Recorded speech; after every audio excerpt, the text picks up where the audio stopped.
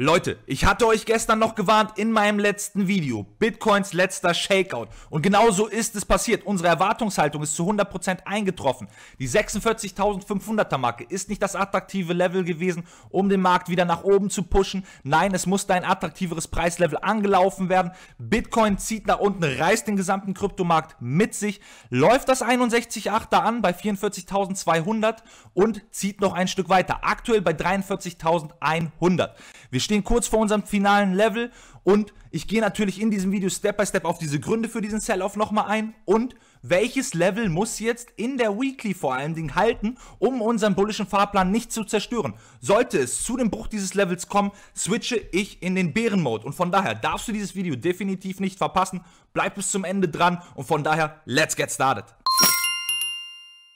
Yes, und damit hallo und herzlich willkommen hier zum täglichen Update-Video auf der Crypto Wall Street. Falls du erfolgreich auf den Kryptomärkten handeln möchtest und auf der Suche nach täglich brandaktuellen Analysen zu Bitcoin, Ethereum und Co. bist, bist du hier genau richtig, mein Freund. Smash the Like-Button, abonniere diesen Kanal und ganz, ganz wichtig, aktiviere die Glocke, damit du keiner dieser wichtigen Infos mehr verpasst. Und jetzt schauen wir uns an, was ist passiert in den letzten 24 Stunden, Freunde. Gestern Abend kam es nochmal zum massiven Sell-Off hier auf den Kryptomärkten. Wir sehen es in den letzten 24 Stunden. Ein Decrease, ein Rücksetzer von über 8% der Total Crypto Market Cap angeführt von Bitcoin natürlich mit 6,9% Verlust, reißt sämtliche Kryptowährungen mit sich, wie Ethereum, wie Solana, wie Cardano, zieht sich durch den gesamten Markt und von daher müssen wir jetzt nochmal den Chart Step by Step auseinandernehmen und die interessanten Level bzw. die Level identifizieren, die halten müssen und natürlich gehen wir auch nochmal auf den Grund ein für diesen Sell-Off und von daher lasst uns direkt in die Charts reinspringen, Freunde. Starten wir rein mit Bitcoin, Freunde. Und zum Aufnahmezeitpunkt des gestrigen Videos befanden wir uns in etwa hier. Falls du es nicht gesehen hast, du musst es dir unbedingt angucken. Wir hatten gesagt, Freunde, in der Vergangenheit hat das 55,9er als, sage ich mal, attraktives Kauflevel gedient, um den Markt erstmal nach oben zu pushen. Nichtsdestotrotz hatten wir es nicht geschafft, mit diesem Kauflevel dieses vorherige High herauszunehmen. Wir wurden rejected an der 52.000er Marke, wurden dann erneut abverkauft, befanden uns dann erneut wieder an unserer markanten Trendlinie, sage ich mal, die vorher als Widerstand diente, jetzt als Support unterstützte. Nichtsdestotrotz hat der Markt auch hier erneut konsolidiert und ich hatte es gesagt, hey, aus reinem Marktverständnis, wenn es nicht interessant genug ist, dieses Preislevel, um neue Highs zu generieren hier im Chart, ist es wohl nicht das attraktive Preislevel und wir müssen attraktivere Level anlaufen. Und diese attraktivere Level finden wir selbstverständlich in unserem Gesamtkorrekturlevel dieser gesamten letzten Aufwärtsbewegung an der 61,8er, unser Golden Ratio, hier an der 44.200er Marke,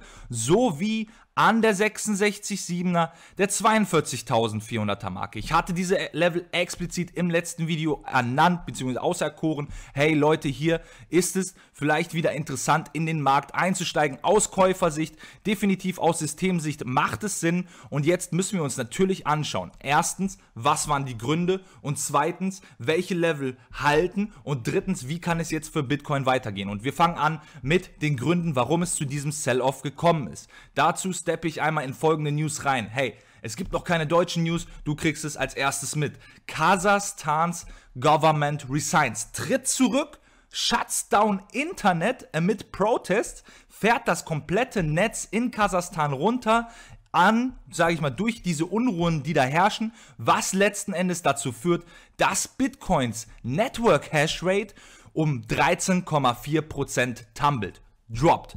Wieso ist das letzten Endes so? Die wenigsten wissen es. Kasachstan ist das zweitgrößte Bitcoin-Mining-Land auf der Welt nach der USA. Insgesamt werden da 18% of the Bitcoins Network Hash Activity, sage ich mal, fortgefahren. 18% der Bitcoins Network Hash Activity findet da letzten Endes statt in Kasachstan. Und mit dem Shutdown von Internet wurde letzten Endes die Hashrate oder hat die Hashrate einen Decline, einen Rücksetzer von 13,4% gesehen. Letztendlich von 205.000 Petahash per Second zu 177.330 Petahash per Second. Letztendlich ist das eine immens große Menge, dass letzten Endes, sage ich mal, die Hashrate gedroppt ist und so kam es letzten Endes zu diesem Sell-off. Wir schauen uns das jetzt natürlich hier aus charttechnischer Sicht weiter an. Was sind letzten Endes die Level, die jetzt halten müssen? Wir schauen es uns an, Freunde. Wir gehen dazu in den Weekly. In der Weekly sehen wir, dass wir uns natürlich definitiv weiterhin in unserem Bullen-Level befinden. Nichtsdestotrotz muss dieses Bullen-Level halten. Ich hatte es immer wieder gesagt. Das markante Level ist 42.200 für mich. Wir dürfen hier nicht mit Candle Close drunter schließen. Ansonsten switche ich in einen Bären-Mode. Das ist das erste Signal. Das zweite Signal ist letzten Endes ebenfalls der Candle Close unter unserer aktuellsten Trendlinie, die hier als Widerstand diente, die hier als Support diente und die jetzt aktuell erneut angetestet wird. Das ist das zweite Signal. Wenn wir darunter schließen, switche ich in den Bären-Mode. Und das dritte ist letzten Endes oder sind letzten Endes die EMA Ribbons in der Weekly. Wir haben die bereits natürlich in der Daily gebrochen. Daily Timeframe sowieso bärisch. Jetzt aber, der entscheidendste Timeframe für mich ist hier der Weekly. Wir dürfen definitiv nicht unterhalb des 50er EMA Ribbons schließen. Das ist ebenfalls einer dieser Signale, die für mich in den Bärenmode switchen lassen würde. Und ihr seht, hey, das ist letzten Endes exakt das Level hier an der 61,8er. Und von daher sprechen einige Punkte dafür, dass wir hier von diesem Level ein sehr, sehr attraktives Preislevel haben und einen Bounce erstmal sehen können. Und von daher, Freunde, es ist noch alles okay. Der Markt darf es machen, was er gemacht hat. Wir hatten es erwartet und für den einen oder anderen hat sich hier letzten Endes auch einen sehr, sehr attraktiven Entry geboten. Und von daher, Freunde, hey, bleibt locker. Wir schauen uns jetzt nochmal kurz Ethereum dazu an. Auch in Ethereum hatten wir die Erwartungshaltung aufgestellt, hey, es kann definitiv nochmal eine Etage tiefer gehen. Warum? Nachdem dieses Konstrukt hier gebildet worden ist, hatte ich gesagt, hey, das ist definitiv kein bullisches Konstrukt, sage ich mal. Und auch hier hatten wir bereits das Anlaufen der 55,9er. Letzten Endes hat es auch hier nicht gereicht, um neue Highs zu generieren im 4-Stunden-Chart. Danach kam es erneut zum Sell-Off. Diese Struktur wurde gebildet und natürlich, hey, wenn das 55,9er nicht das attraktive Preislevel ist, muss ein attraktiveres Preislevel angelaufen werden und auch hier ist es letzten Endes der Wick an der 61,8 bei 3500 gewesen plus das 66,7er hier an der 3400er Marke. Und hier ist es ziemlich ähnlich, Freunde. Für mich, um dieses bullisches Chartbild auch in der Weekly fortzuführen, müssen wir definitiv diese Level erst mal halten. Denn auch hier wenn wir einen Candle Close von Ethereum unterhalb dieses Kastens hier sehen, grüne Rechteck, unser relevanter Kauf- und Wendebereich, letztendlich, wenn der da schließt, kein gutes Zeichen, definitiv nicht. Ebenfalls befinden wir uns gerade aktuell mit Daily Candle Close, schaue ich mal kurz rein, mit Daily Candle Close unterhalb unserer markanten vorherigen Widerstandslinie, die jetzt mehrmals als Support diente, nämlich einmal hier einmal hier, ein drittes Mal hier und jetzt erstmal gebrochen worden ist. Kein gutes Zeichen. Nichtsdestotrotz auch im Weekly hier soweit noch alles fein. Wir sind noch im bullischen Terrain, Freunde. Diese Level müssen jetzt aber halten. Wir schauen uns auch hier nochmal die EMA Ribbons an, denn hier befinden wir uns aktuell innerhalb dieser Ribbons, die jetzt als Support dienen. Von daher noch nicht so weit fortgeschritten wie in Bitcoin, wo wir uns bereits am 50er befinden, befinden wir uns hier am letzten Endes 30er aktuell und natürlich ebenfalls, ganz, ganz wichtig, ist das natürlich weiterhin ein attraktives Preislevel, um Ethereum zu akkumulieren. Ganz, ganz wichtig, Freunde, keine Anlageempfehlung. Nichtsdestotrotz, das, was das System hergibt, meine Trade-Erfahrung, meine Trade-Idee, meine persönliche Meinung. Und wir schauen uns selbstverständlich auch gleich nochmal ETH BTC an, aber ich gehe davon aus, dass wir jetzt von Bitcoin oder in Bitcoin und Ethereum jetzt erstmal einen kleinen Bounce heute sehen werden. Ganz, ganz wichtig.